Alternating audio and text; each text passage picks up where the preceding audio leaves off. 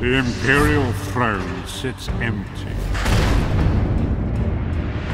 The dragon fires cold, unlit.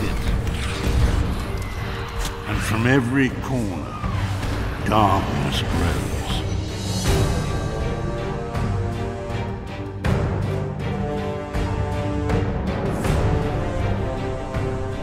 Now, ancient enemies band together.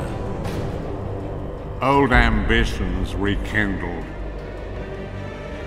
And as enemies rise faster than allies, salvation cannot come from one hero alone.